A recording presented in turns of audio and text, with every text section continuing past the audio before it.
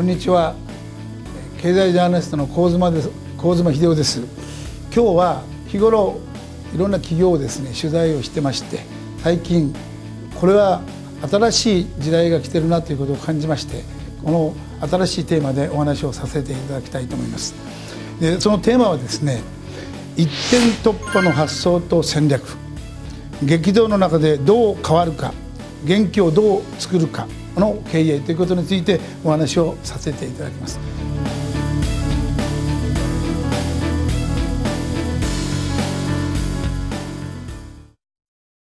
経営の視点でこの一点突破の発想の話をする背景として、えー、大きな流れは3つあると思います。一つは成熟社会であり成熟した市場の中で経済活動していますけれどもえー、従来のやり方では商売やる稼げないっていうのが大きい流れが一つ。二つ目は情報型の時代である。何がいいか何が売れるかどういう手法の経営が成功するかがわからない、まあ、そういう意味で決め手が分かりにくい時代になっていると。また欧米の経営理論それから経営手法もすんなりと受け入れられないという時代でもあります。で3つ目は少子高齢化の社会ということでこれは日本にとっての初めてのケースで今までのまあ従来のやり方やる右肩上がりの経あの状態では望めないという現実があります。そういった中で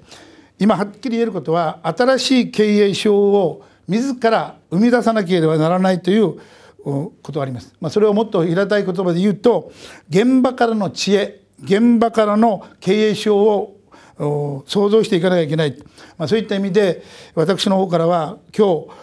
えー、独自の経営手法として一点突破の発想と戦略というテーマで、えー、事例を含めてお話をさせていただきたいと思います。絞り込みの考えという事例をちょっとお話ししたいんですけどもこれは、えー、新潟県の十日町。これは着物業界です。実は着物業界というのは、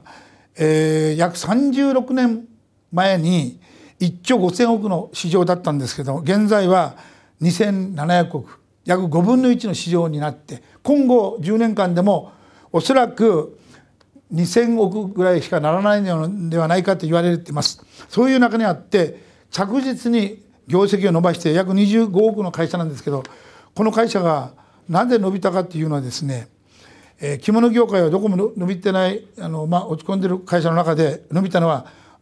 アフターケア着物のアフターケア事業に特化したんですねそこに一点絞り込んで、まあ、この岡本さんはその困っていることにニーズあるとその解決法を事業化すればいけるってことをやったんですけどこのこのアフターケアが受けてですね今